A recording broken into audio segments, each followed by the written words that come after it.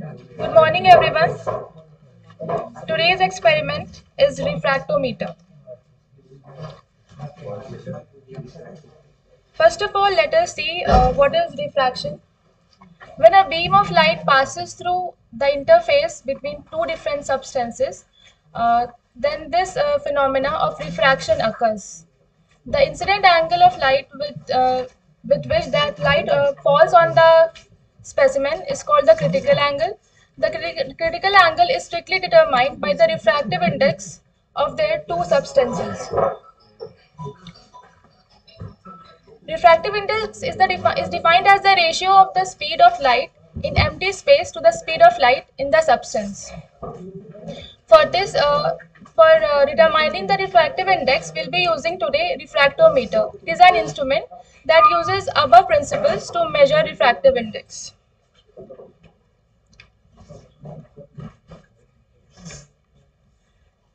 The refractometer works on the principle of light refraction through liquids.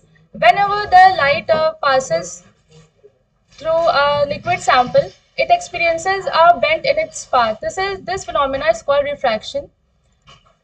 As light passes from air into the liquid, liquid it uh, slows down. It means the speed with which it travels, the speed slows down. This phenomena is is what gives a bent look to subjects that are partially submerged in water, as you can observe in the picture shown here.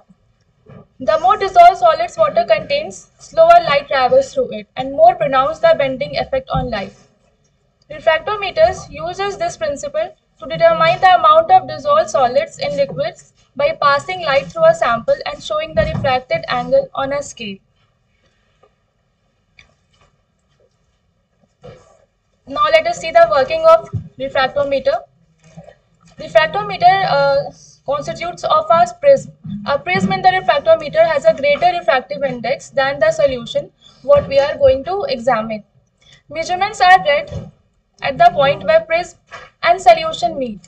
With a low concentration solution, the refractive index of the prism is much greater than that of the sample, creating a large refraction and a low reading.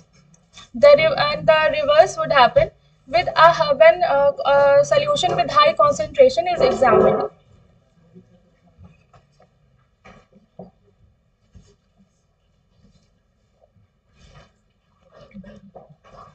The scale used in the in this uh, experiment is called the Brix scale.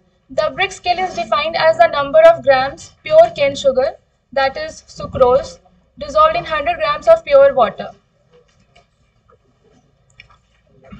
There are three uh, scales show, shown here. First one is empty, that is the, there is no solution used. Then in the second one, the, it is set to zero. It means the uh, solution that we are examining is water.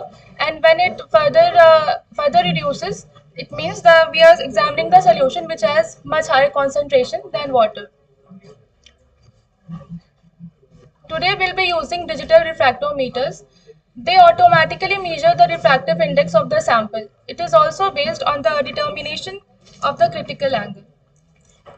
In this instrument, an LED light source is imaged under a wide range of angles onto a prism surface that is present in the refractive uh, refractometer and uh, this prism surface is in contact with the sample. Depending on the difference in the refractive index between prism material and sample, light is partly, par partially transmitted or totally reflected. Here, light from an LED passes through the prism in contact with the sample. An image sensor is also present here. It determines the critical angle at which the light is no longer refracted through the sample. There is a ray diagram shown here in which all the components of the refractometer are mentioned. There is a lens there's a prism, there's a light source that is LED. There's a sample well and the image sensor. There are three types of measurements that can be done through refractometer. First is ND for refractive index. Second one is ND20 for temperature compensated refractive index. And uh, the uh, last one is BRI that is for percentage Brix. There are multiple uses of refractometer. It is, all, it is used in alcohol industry for measuring the specific gravity before the fermentation process to determine the amount of sugar present in the uh, alcohol. It is also used, used in veterinary sciences for your measurement of proteins in the blood, measurement of urine weight.